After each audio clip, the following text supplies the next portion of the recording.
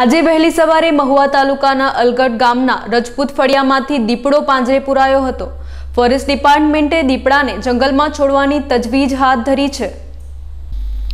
મહુવા તાલુકો દીપડા માટે અભયારણ્ય બની ગયું હોય તેમ અવારનવાર દીપડાઓ જાહેરમાં ફરતા અને પાલતુ પશુઓનો શિકાર કરતા નજરે પડે છે.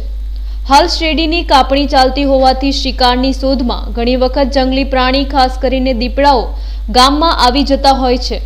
ત્યારે એક દીપડો શિકારની શોધમાં મહુવાના અલગઢ ગામમાં ચડી આવ્યો હતો. આજે વહેલી સવારે મહુવા તાલુકાના અલગઢ ગામ રજપૂત ફળિયામાંથી હિતેશભાઈ ચૌધરીના ઘરની બાજુમાં મુકાયેલ પાંજરામાં દીપડો પુરાયો હતો. અવારનવાર દીપડો નજરે પડતા ગ્રામજનોએ ફોરેસ્ટ ડિપાર્ટમેન્ટને જાણ કરતા ફોરેસ્ટ ડિપાર્ટમેન્ટે મારણ સાથેનું પાંજરું મૂક્યું હતું. હાલ ફોરેસ્ટ ડિપાર્ટમેન્ટે પકડાયેલા દીપડાને જંગલમાં છોડવાની તજવીજ હાથ ધરી છે. કેમેરામેન જીગર પટેલ સાથે ભાવેશ પટેલ જનસાક્ષી ન્યૂઝ મહુવા